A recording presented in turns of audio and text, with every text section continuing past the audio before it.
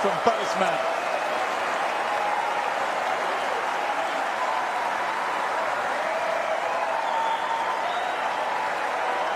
It had to be this good. Great anticipation from Wawrinka.